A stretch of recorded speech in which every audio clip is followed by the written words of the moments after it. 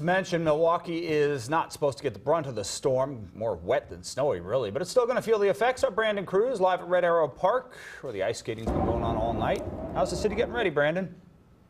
Well, it is getting ready, and in fact, in the last couple of minutes, a few raindrops have started to fall down here as people are still ice skating. And even though the brunt of the storm is not supposed to hit Milwaukee, they are preparing for the worst as the storm approaches. Skaters at Red Arrow Park enjoy Wednesday night's calm weather.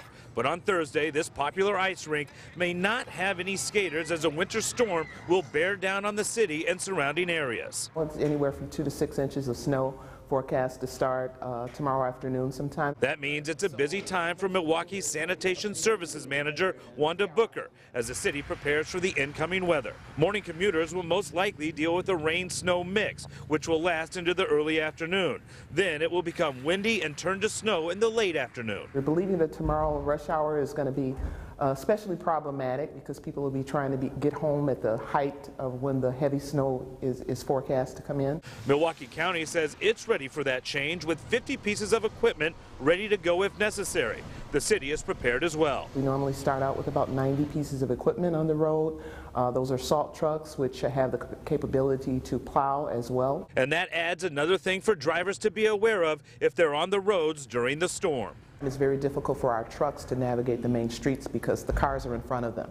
So give our trucks space uh, to, to actually get through and to apply the salt to the road.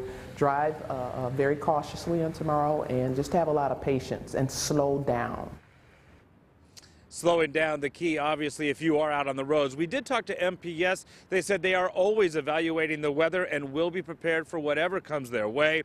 Also, the Milwaukee County Sheriff's Office says if more deputies are needed out on the roads, they will bring them on. Reporting live in downtown Milwaukee, Brandon Cruz, Fox 6 News. All right, Brandon, thanks much. And don't forget about those winter parking rules. They went into effect on December 1st. Most residential streets require alternate side night parking and there is no overnight parking on the major arterial streets and the bus routes. You know, some streets may not have the no parking signs posted, so, so you really need to check online to see what the rules are in specific streets. DPW offers an email as well as text alert message system, by the way, and uh, you can sign up for that or check your streets parking rules on the links or through the links on fox6now.com. Well, winter parking rules not exactly a favorite of the folks